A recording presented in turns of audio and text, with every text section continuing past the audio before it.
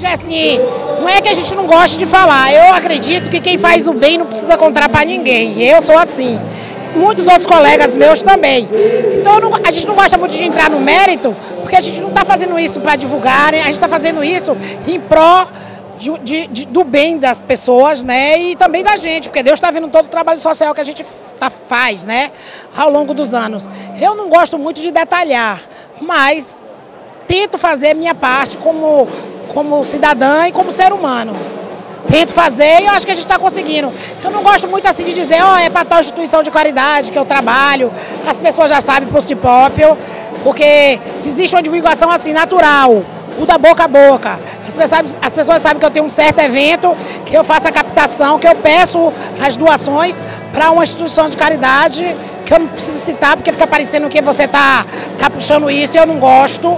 Eu gosto de fazer caladinha, quietinha, mas é sempre, se todo mundo fizesse um pedacinho, um pouquinho, no final o resultado seria isso. E, e, é isso, gente. Vamos ajudar esse pessoal aí, todo que precisa, porque eu também vejo uma realidade muito dura. E tento fazer a minha obrigação como cidadã e como cristã e como ser humano. O recado que você deixa para aqueles empresários que pensam que o social, só quem faz o social é o governo, né? Qual é o recado que você deixa para esses empresários que muitas vezes é, têm muito e fazem muito pouco, né? Socialmente falando.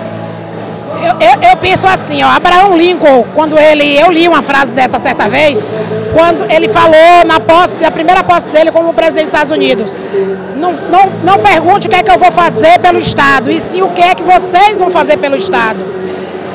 Perguntou isso aos cidadãos, né, aos americanos. Então eu, eu também penso assim, os empresários não têm que ficar esperando o governo. Claro que a gente tem que fiscalizar as obras do governo, sim, e pedir, mas a gente tem que fazer a parte da gente. Se está sobrando, vamos lá.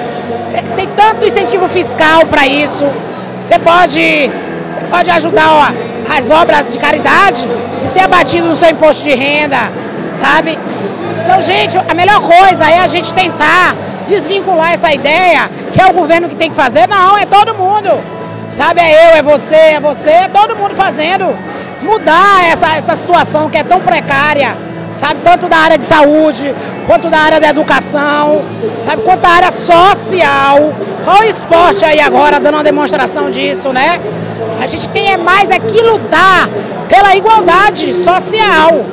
Não ficar cobrando, esperando, ah, não, tem o um governo para isso. Não, tem nós, seres humanos, para fazermos isso.